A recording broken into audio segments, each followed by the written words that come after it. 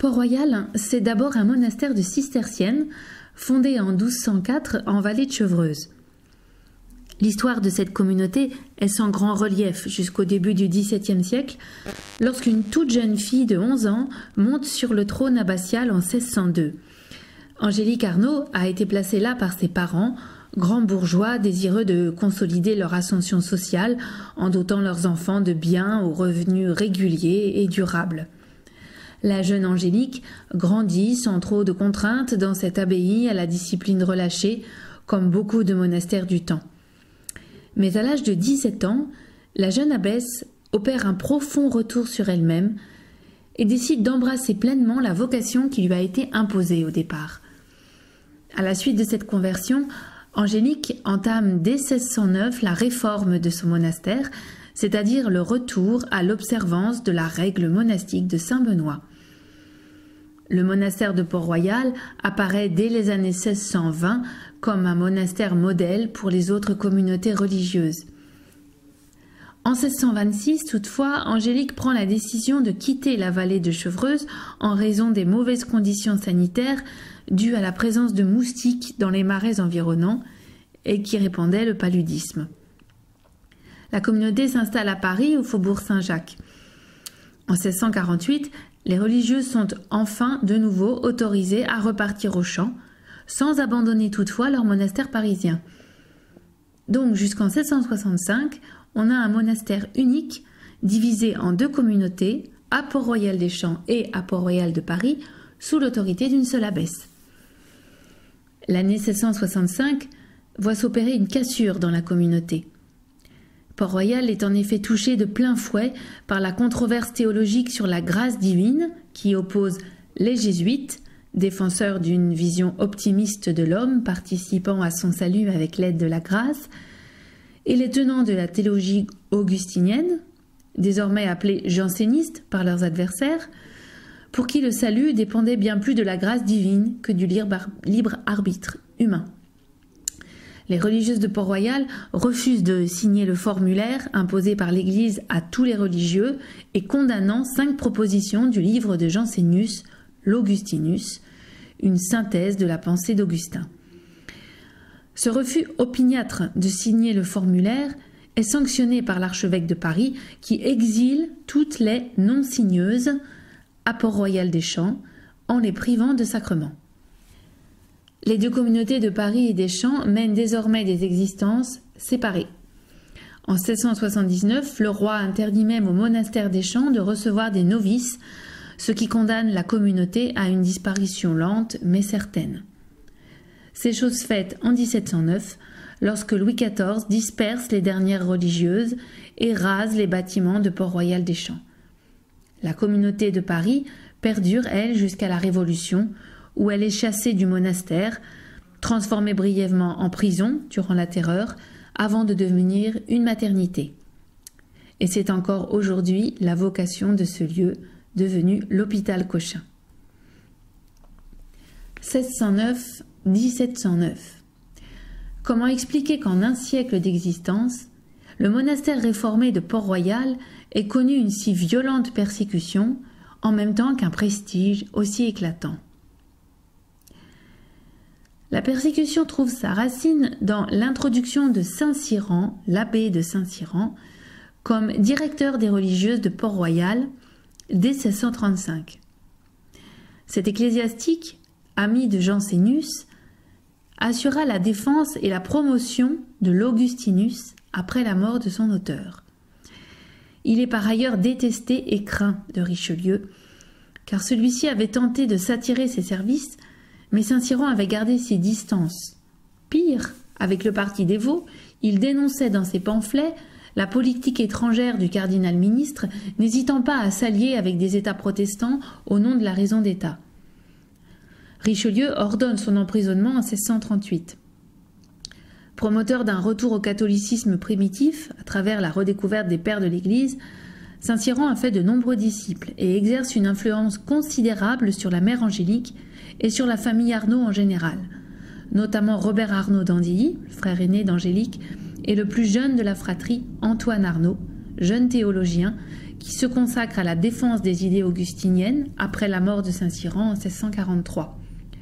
Port-Royal est ainsi assimilé au parti janséniste et en subit les conséquences dramatiques.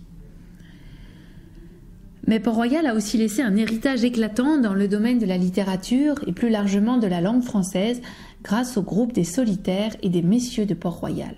En effet, au-delà du cercle démonial, s'était constituée une communauté d'hommes laïcs, les solitaires, vivant dans les dépendances de Port-Royal des Champs et menant une vie érémitique proche de celle des Chartreux, sans pourtant avoir prononcé aucun vœu religieux.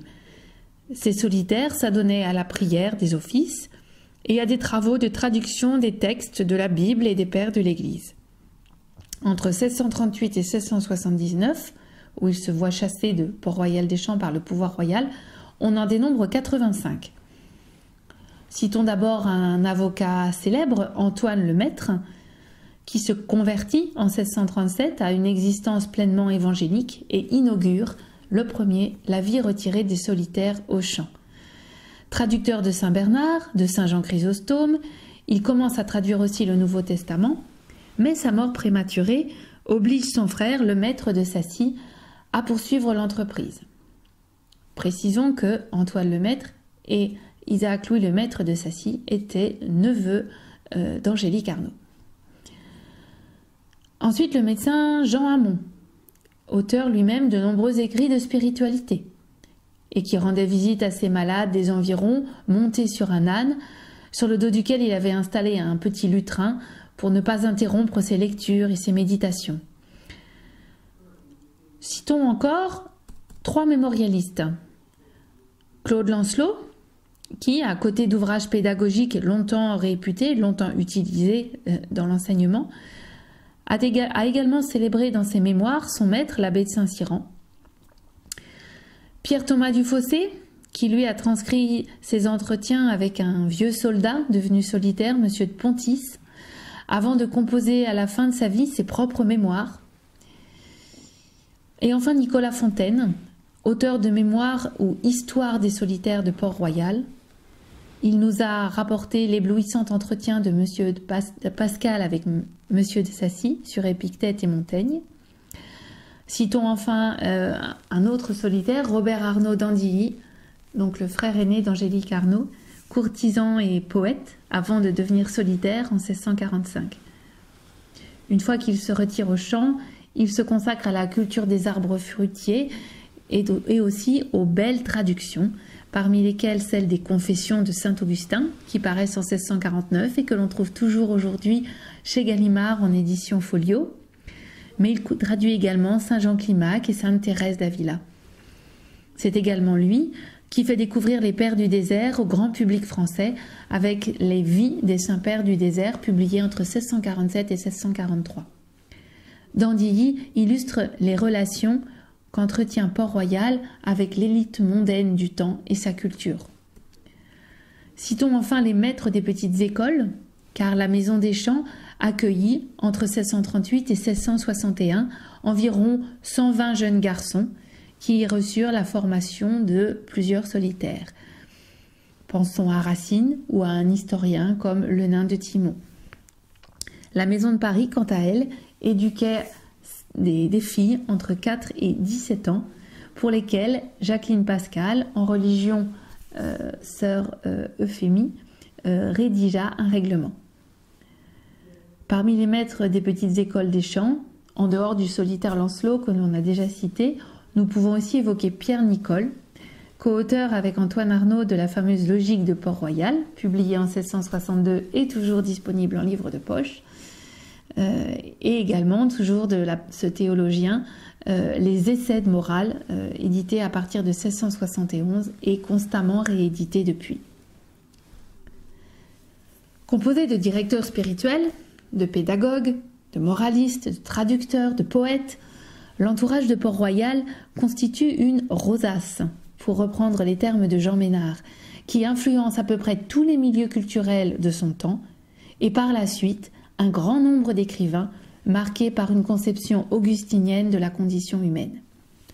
La destruction matérielle de Port-Royal aura en définitive favorisé la naissance d'un éblouissant héritage culturel. Ainsi s'écriait Antoine le Maître en quittant à regret Port-Royal des Champs. Je cite Lieu charmant, prison volontaire, on me bannit en vain de vos sacrés déserts, le suprême Dieu que je sers fait partout de vrais solitaires.